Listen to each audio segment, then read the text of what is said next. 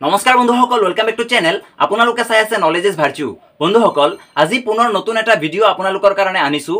আজিৰ ভিডিঅ'ত আমি ইতিমধ্যে হৈ যোৱা আছাম টেট পৰীক্ষাৰ ইউ পিৰ যিখন ছ'চিয়েল ছায়েন্স পেপাৰ আছে ইয়াৰ ওপৰত আলোচনা কৰিম।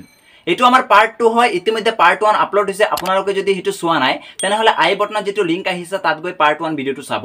এই ভিডিঅ'ত আমি কিছুমান গুৰুত্বপূৰ্ণ প্ৰশ্ন আহি যোৱা প্ৰশ্নসমূহ আলোচনা কৰিম। এই প্ৰশ্নসমূহ আমি আমাৰ যিসকল বন্ধু বান্ধৱীয়ে ইতিমধ্যে আমাক কমেণ্ট ছেকশ্যনত হওক বা বিভিন্ন ধৰণৰ সামাজিক মাধ্যমসমূহৰ জৰিয়তে জনাইছে সেইসমূহৰ ওপৰত আলোচনা কৰিম। আৰু এই প্ৰশ্নসমূহে আমি জানিছোঁ যিবোৰ মেমৰি বেজ হয় আমাক কোনো ধৰণৰ অপশ্যন জনোৱা হোৱা নাই।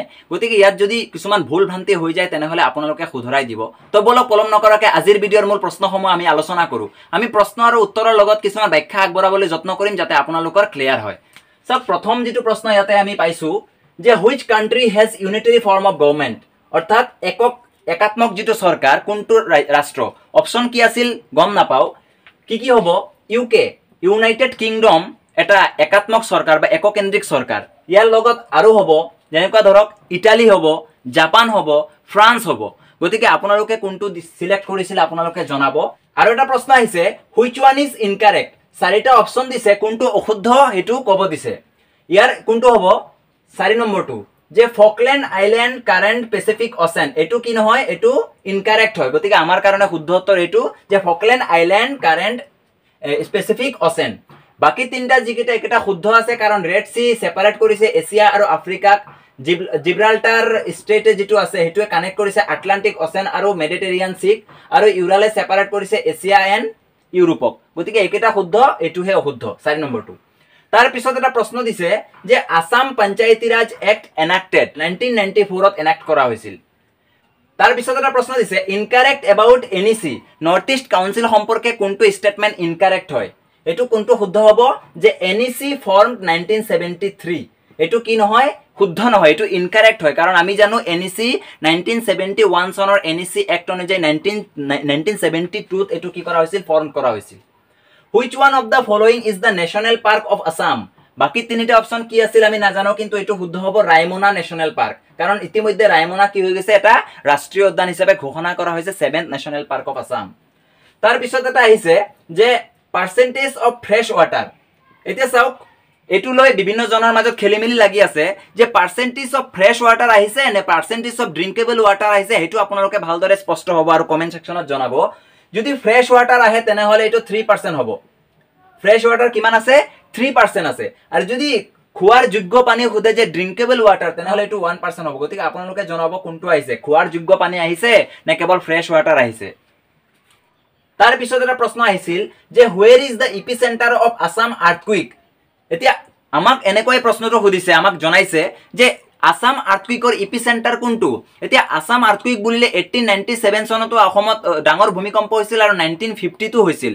এতিয়া আমি যদি চাওঁ এইটিন নাইনটি ছেভেন চনৰ যিটো আৰ্থকুইক সেইটো আছিল খাচিয়া জয়ন্তীয়া পাহাৰ যিটো বৰ্তমান মেঘালয়ৰ অন্তৰ্গত হৈ আছে শ্বিলং মেঘালয়ৰ অন্তৰ্গত হৈ আছে।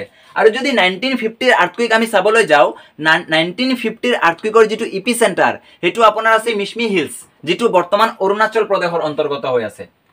গতিকে যদি আছাম আৰ্থকুইক নাইনটিন ফিফটি হয় তেনেহ'লে কি হ'ব? মিছমি হিল যিটো অৰুণাচল প্ৰদেশ এতিয়া অপশ্যনত কি আছিল এইটো আপোনালোকে মই গম নাপাওঁ আপোনালোকে জনাব অপশ্যনত কি আছিল। আৰু আপোনালোকে কোনটো ট্ৰিক কৰিছে আপোনালোকে জনাব। Who was not a part of constitution constituent assembly সংবিধান সভাৰ অংশ নাছিল। চাৰিগৰাকী ব্যক্তিৰ নাম দিছে কোনগৰাকী ব্যক্তি সংবিধান সভাৰ পাৰ্ট নাছিল।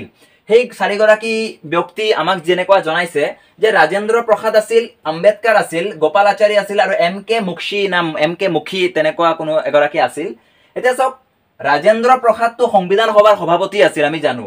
আৰু আম্বেদকাৰ তেখেতৰ নামটো আমি সকলোৱে জানো তেখেত সংবিধানৰ মূল নিৰ্মাতা আছিল তেখেত। গোপালাচাৰী মাদ্ৰাজ যিটো প্ৰভিন্স মাদ্ৰাজ প্ৰভিন্সৰ পৰা গোপালাচাৰীও সংবিধান সভাৰ অংশ আছিল পাৰ্ট আছিল। কিন্তু নিশ্চিতভাৱে এম কে মুখী বা এম কে মুখী যিগৰাকী তেখেত কি হ'ব? Was not a part of constituent assembly এইটো শুদ্ধ হ'ব লাগে এম কে মুখী। আপোনালোকে জনাব আপোনালোকে কোনটো ট্ৰিক কৰিছে? নেক্সট যিটো প্ৰশ্ন যে which country has strong opposition party শক্তিশালী বিৰোধী দল কোনখন ৰাজ্য কোনখন দেশত আছে?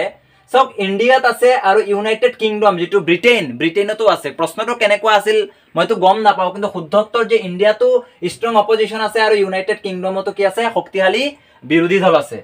অৰ্থনীতিত সম্পদ হ'ল সম্পদ বুলিলে কি বুজা? সম্পদ হ'ল যিটোৱে মানুহৰ অভাৱ পূৰণ কৰে গতিকে which can satisfy human needs সেইটোৱে কি হ'ব? অৰ্থনীতিত সম্পদ হ'ব। Which country is regarded as the homeland of federation এইটোৰ উত্তৰটো কি হ'ব? চাওক গুগলত চাৰ্চ কৰিলে জাৰ্মানী জাৰ্মানীত যিখন ৰাষ্ট্ৰ সেই জাৰ্মানীখনকে হোমলেণ্ড অফ ফেডাৰেশ্যন বুলি কৈ আছে।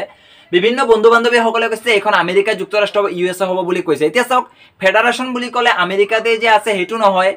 কাৰণ জাৰ্মানীতো ফেডাৰেশ্যন আছে আমেৰিকা যুক্তৰাষ্ট্ৰতো ফেডাৰেশ্যন আছে আৰু আমাৰ ভাৰতবৰ্ষখনো এক যুক্তৰাষ্ট্ৰই হয় যদিও আমাৰ ভাৰতীয় সংবিধানে ফেডাৰেশ্যন শব্দটো ক'তো উল্লেখ কৰা নাই। গতিকে এইটোৰ শুদ্ধ উত্তৰ কি হ'ব? আপোনালোকে জনাব কমেণ্ট ছেকশ্যনত কিন্তু গুগলত চাৰ্চ কৰিলে এইটো জাৰ্মানী বুলিয়েই কৈ আছে।